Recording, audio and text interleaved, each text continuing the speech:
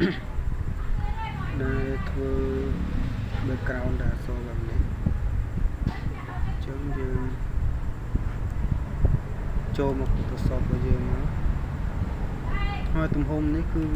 ខ្ញុំបង្កើតចោលវិញលើទំហំ1920និង1080អញ្ចឹងជាដំបូងយើងយើងធ្វើអាអាតូចតូចហ្នឹងណាផងតូចតូចហ្នឹងគឺយើង define ឥឡូវយើងបង្កើតមួយមក new មកទំហំវាយក100 100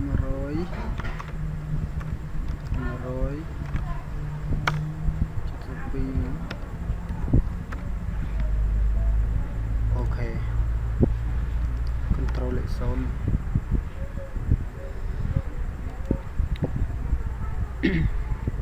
តមទៀតខ្ញុំចាក់ពណ៌ខ្មៅចូលមួយពណ៌ចាក់ពណ៌ខ្មៅចូលពណ៌ខ្មៅ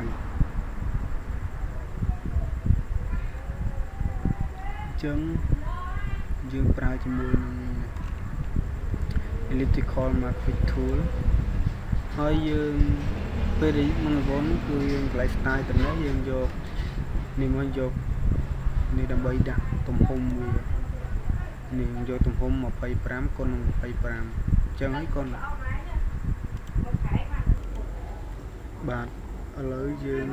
ពេលយើងកំណត់ទំហំនេះហើយយើងប្រើឧបករណ៍ខចុចទៅចេញជាទំហំចឹងអញ្ចឹងទាញខ្ញុំដាក់មកក្រោមអញ្ចឹងយកត្រឹមហ្នឹងមកយើងចាក់ពណ៌សចូល ចាក់ពណ៌សចូល control backspace តមទៀតពេលបានវងចឹងហើយយើងចុចស៊ីសមកយើងចុច key សញ្ញាព្រួយមកក្រោមមក1 2 3 4ចុច4ដងអញ្ចឹងយើង control backspace មួយទៀតអញ្ចឹងឥឡូវខ្ញុំគូនេះសិនដើម្បីស្រួលជាងនេះ លឹងទាញខ្សែនេះ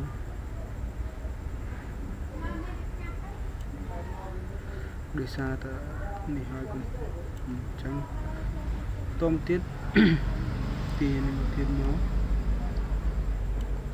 អញ្ចឹងចុចស៊ីទៀតមកចុច key ព្រួយទៅនេះទៅទៅស្ដាំមក1 2 3 4 4ដង control backspace យើងទាញមកចុចស៊ីទៀតឡើងទៅលើ1 2 3 4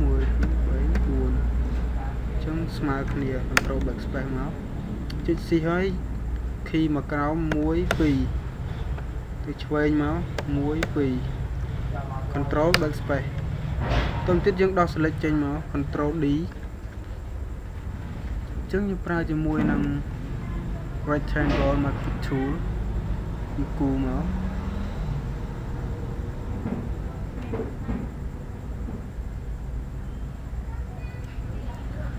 តមទៀតពេលយើងគូហើយអញ្ចឹងយើងចូលទៅកាន់ iMac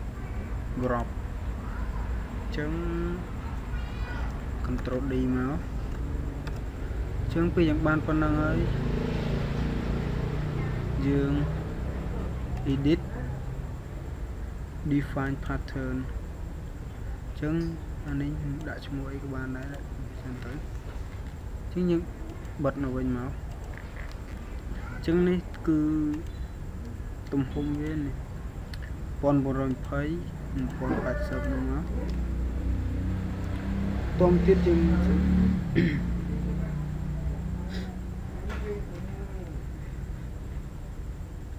យើងសេអសថិចមក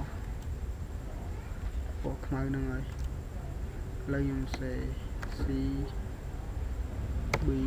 D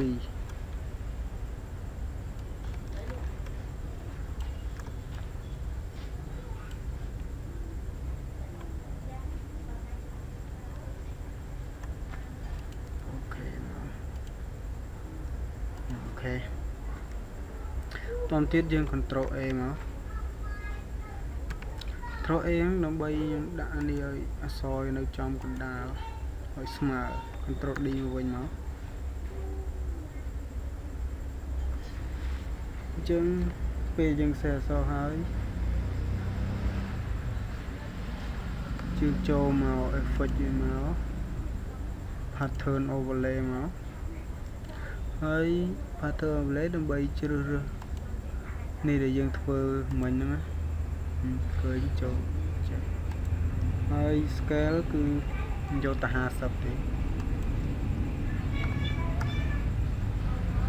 ថយវាទៅអញ្ចឹងខ្ញុំយក stroke stroke ពណ៌ខ្មៅនឹងហើយ size យក15មកចឹងយក inside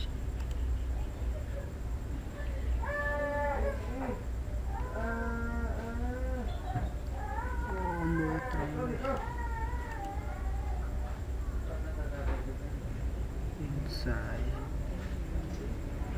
អូខេ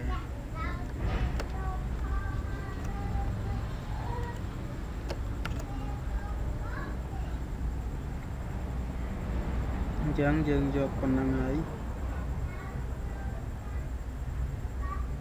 អញ្ចឹងយើង copy មួយមក control J មក control អក្សរ J យើង copy មួយមកយើង right click វត្តនេះបើសិនជាប្រើខ្ញុំប្រើ CF5 បើសិនជាប្រើ CS6 យើង rasterize layer style តែនេះគឺ CF5 អត់មាន ជាងខ្ញុំ rasterize ថៃហើយខ្ញុំ rasterize effect ចោល convert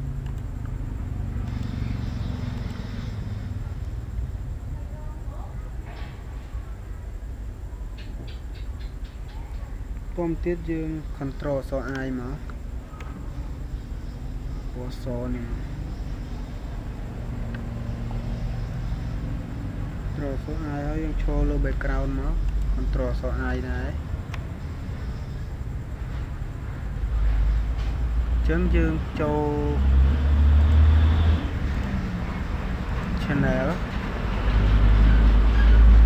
ចូល channel ហើយយើង control មក click RGB នេះមក selection ទូទៅទាំងអស់អញ្ចឹងបន្ទាប់មកយើងបង្កើត channel មួយ create channel ដាក់ឈ្មោះអីសិនក៏បានដែរពេលយើងកាត់ channel ហើយយើង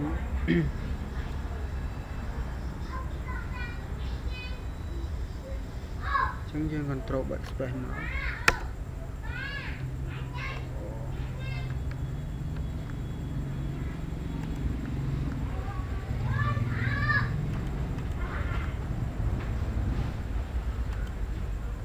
ឥឡូវ control backspace មកអូខេ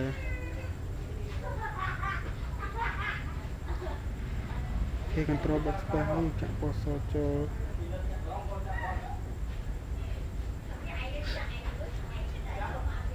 ឥឡូវយើងយកមកនេះវិញមក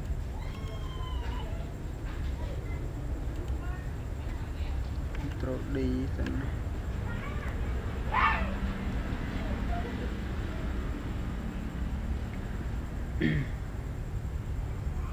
ចឹងខ្ញុំសូមលុបចោល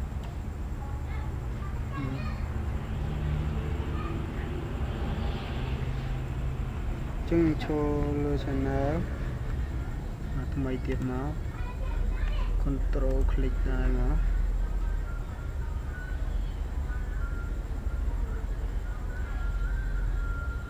នេះ control click RGB ហើយយើងបង្កើតលេខអូសំទោសបង្កើត channel ថ្មីមួយទៀតមក new channel មកអញ្ចឹងខ្ញុំ control backspace ទៀតមកអូខេតោះទៀតយើង ចូលនេះវិញមក control D មកដោះ select ចេញយើងលុប effect លុប pattern overlay យើងទាញមកអញ្ចឹងពេលលុបចឹងហើយយើងបដូរអក្សរដាក់ពណ៌អក្សរវិញមកឃើញពេលដាក់ពណ៌ពណ៌អក្សរហើយយើងចូលលើ channel ទៀតមក ចឹងពេលចូល channel យើង control click ទៀតមកយើង new channel មក control backspace មកវិញមក control D មកដោះ select ចេញមកទុំទៀតលុប layer អឺលុប stroke នេះចេញលុប stroke ចេញមកចឹងយើងដាក់ពណ៌ខ្មៅមកវិញមក OK OK ចឹងបាត់ ហើយពណ៌ខ្មៅហើយចឹងចូលលើ background នេះមកចឹងយើងចូលជាមួយនឹង filter render lens flare ចឹងយកទំហំនេះយក160 160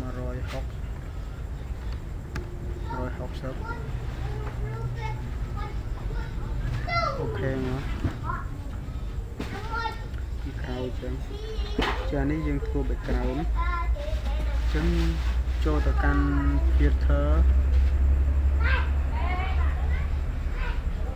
render different cloud តមកទៀតយើងចុច control shift so you ចូលទៅកាន់ filter filter gallery ចឹងយើងយកជាមួយនឹង distort នេះយកប៉ុណ្ណេះមកសានធ្លាប់ធ្វើហើយចឹង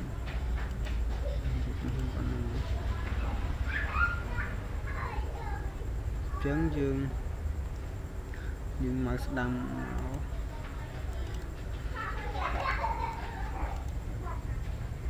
blending option gradient overlay ឈ្មោះ opacity យើងយក70បាននោះ ថយមកដាក់50ចុះចឹងខ្ញុំមកលើ text វិញមកយើងដាក់ជាមួយនឹង drop shadow ដើម្បីស្មៅចឹង drop shadow opacity វាយក100 distance 15 ចឹង10ផ្សាយ25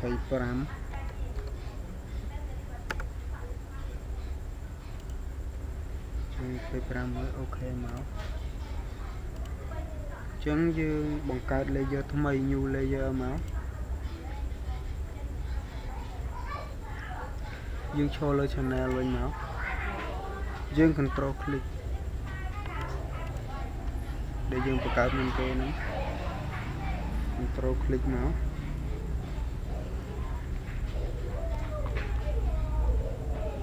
យើងមកលើ channel វិញ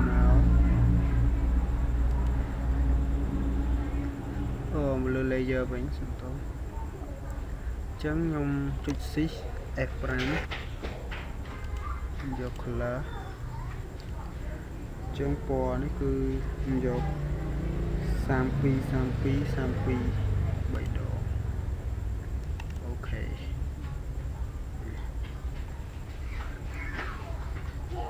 Ctrl D មកដល់ select ចេញតមទៀតយើងប្រើជាមួយនឹង pattern overlay pattern overlay យើងចុចអាកន្លែង នេះ option នេះមកជឿរក pattern អូខេ no យើងយកមុនគេនេះមកនេះ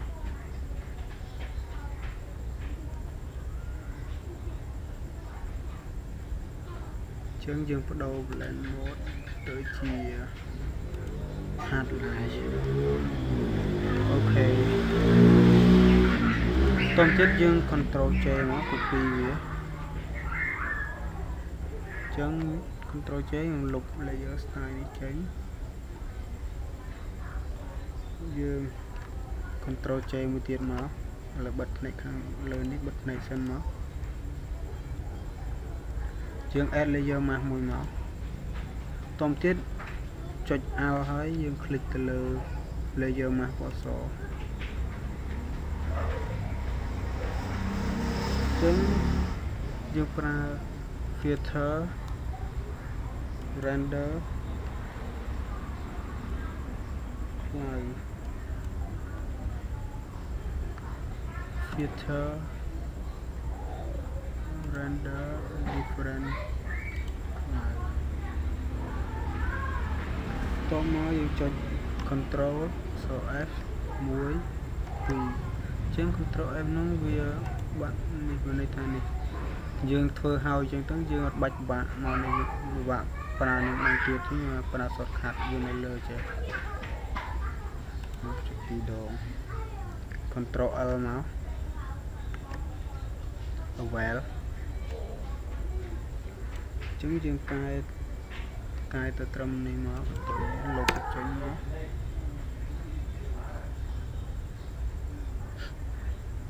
អូខេចឹងយើងចូលលើនេះមកវិញមក សុតោថ្មចឹងពេលឈរមកកន្លែងលើធម្មតាវិញយើងយក slide ជើងយើងប្រើ gradient overlay gradient overlay មកទុំទៀត opacity យកត្រឹម70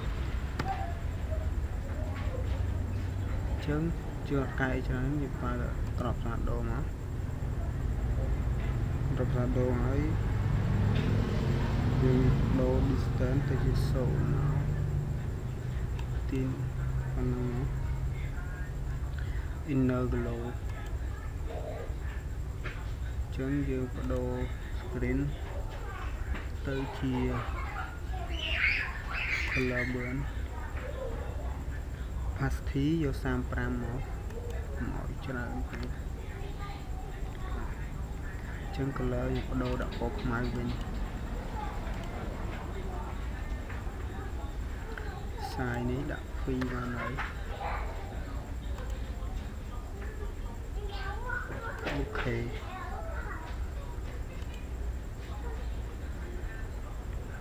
ចឹងពេលយើងធ្វើចឹងបានយើងបង្កើត layer ថ្មីមក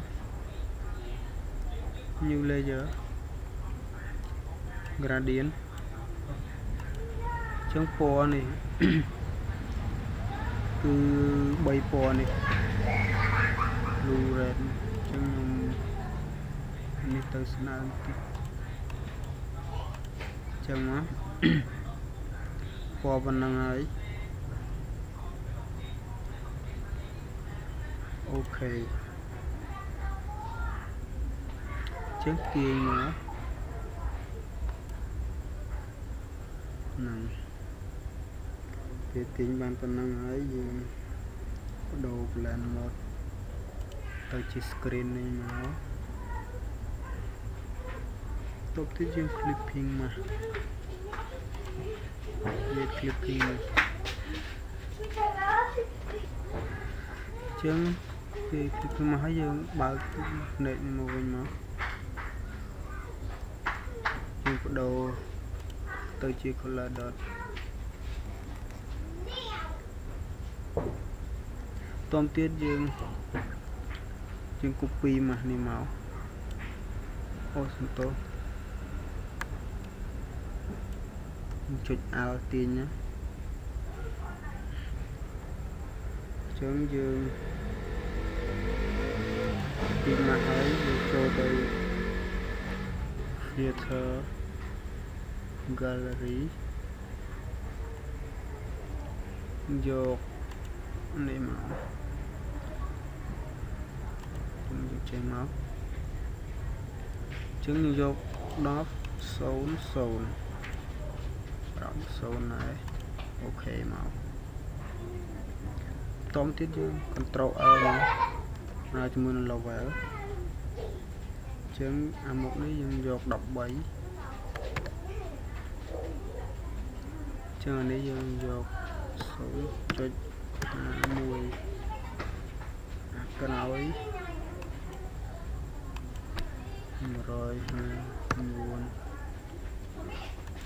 ប៉ុណ្ណឹងមកយើងបង្កើត new layer មកដាក់ ឈ្មោះអីក៏ដាក់អាចដាក់ឈ្មោះ highlight ព្រោះអានេះអញ្ចឹងយើង control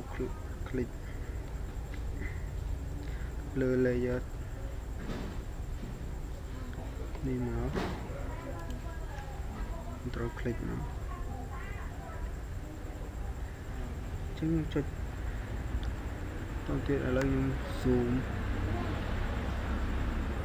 ចិត្តបន្ទាប់មកនេះយើង ចុចលើអានេះមក rectangle ពេលចុច rectangle ហើយយើងចុចសញ្ញាព្រួយឡើងលើមួយមួយចុចមកឆ្វេងមួយទៅយើងចុចទៅលើនេះមួយចុចមកនេះមួយមកទុំទៀតយើងចុច control backspace ចាក់ពណ៌សចូលទុំទៀតយើងចុចមកក្រៅមួយ ក្រៅមួយចេះទៅស្ដាំមួយចេះចុច delete មក control D ជាងអាចមើលជាមួយខុសប្លែកមិននេះគឺជើងបន្តទៀត feel នេះយកត្រឹម60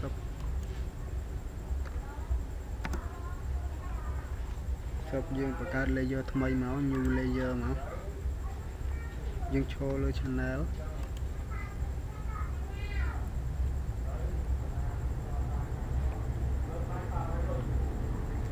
ជើងឈរលើ channel យើង control click channel នៅក្រោមពេលនេះមក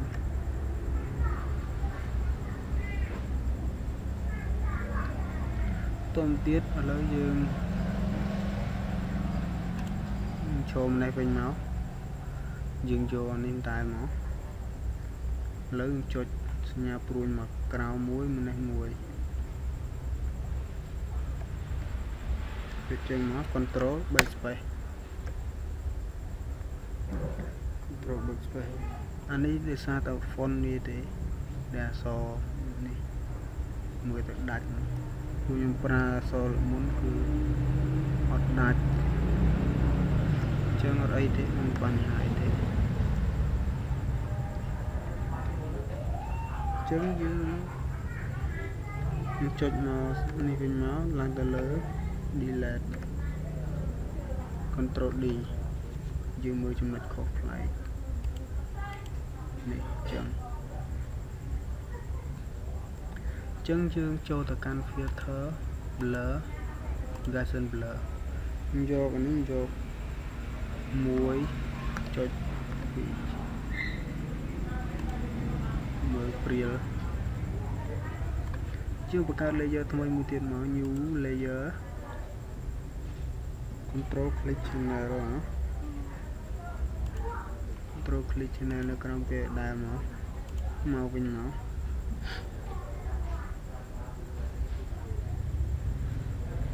ចឹងចុចទៅលើមួយនេះមួយចុច Alt backspace ចាក់ពណ៌ខ្មៅចូលចាក់ពណ៌ខ្មៅចូលហើយចុចមកក្រោមស្ដាំ delete control D មកហើយយើងមើលតោះទៀតយើងចុច control F ដោយសារតែមិញយើងដាក់នេះនៅលើនេះកាសំប្លើស្រាប់ហើយ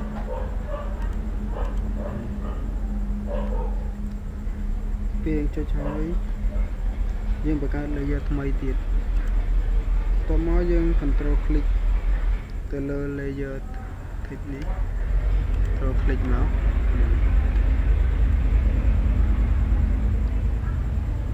តុំទៀត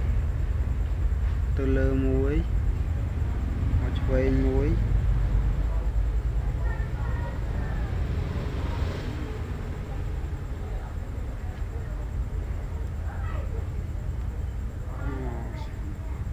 ចាក់ ចឹងចាក់ពណ៌ខ្មៅចូលក្រោមមួយមួយ delete control D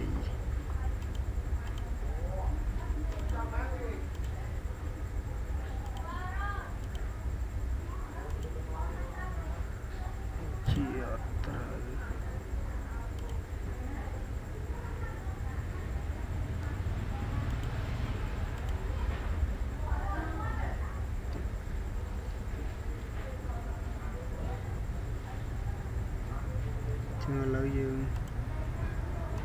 លើនេះបាច់ដាក់ទេលុបមកវិញមកមើលទៅដូចជាមកឥឡូវខ្ញុំ បង្កើត layer ថ្មីទៀតនៅនឹងនេះបាត់ទេ new layer មកម្ដងទៀតមកចឹងយើង control click លើ click នេះមកតងទៀតយើងចុច control space ចាប់ពណ៌សចូលចុចមកក្រោម delete control D control X អូខេមក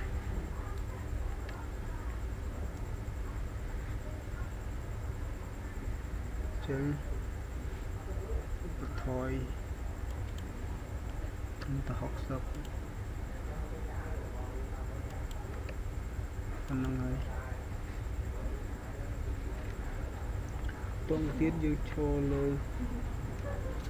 color នេះមក color ដែលយើងនេះមកយើង control J មក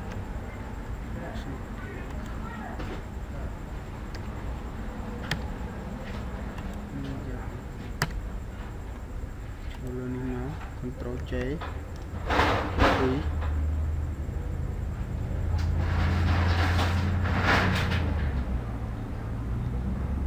ពេលយើង copy ហើយ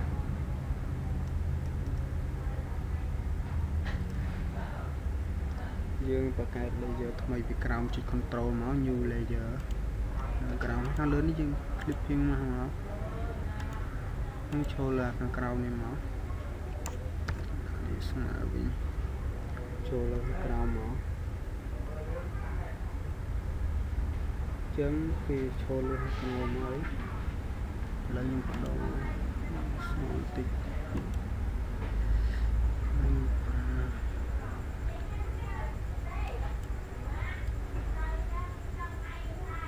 fill យកទៅ50បាន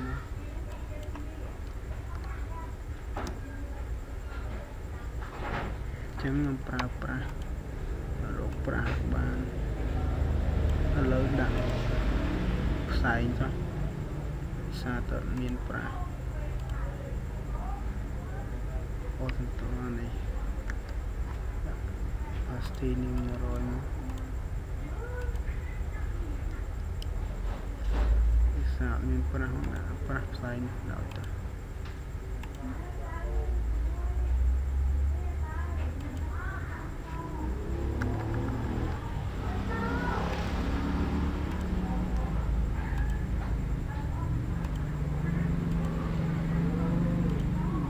នេះក៏មួយយ៉ាង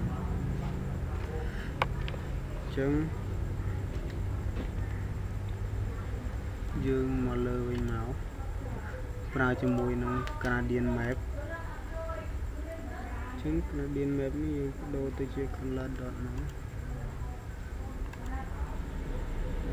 អូខេចូលលើ layer ឥឡូវចូល layer ប្រើប្រាស់នេះមកដាក់ទៅជា hardline វិញជានេះ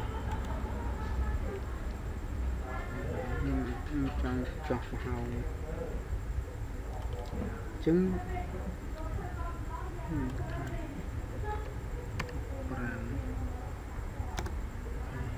5ចឹងចូលលើ channel នេះមក control click ដាលេខគេនៅដាគេអញ្ចឹងខ្ញុំចុច delete control D ចង់ឲ្យឃើញទៅ control D ហើយ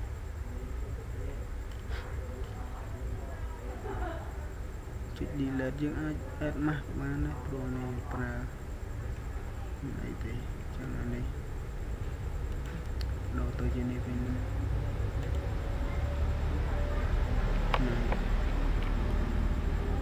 ជាងអាចឆ្នៃថែមមកទៀតយើងអាចចង់ឆ្នៃតែចំពោះខ្ញុំខ្ញុំវាសាកមានប្រាស់នេះ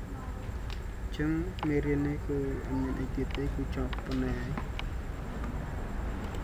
ពេលដែលបានមើលវីដេអូខ្ញុំហើយជួយ Subscribe YouTube Channel ខ្ញុំដើម្បីទទួលបាននូវមេរៀនថ្មីថ្មីពីខ្ញុំបន្ថែមទៀតចឹងអរគុណសម្រាប់ការតាមដានទស្សនាសម្រាប់វីដេអូរបស់ខ្ញុំ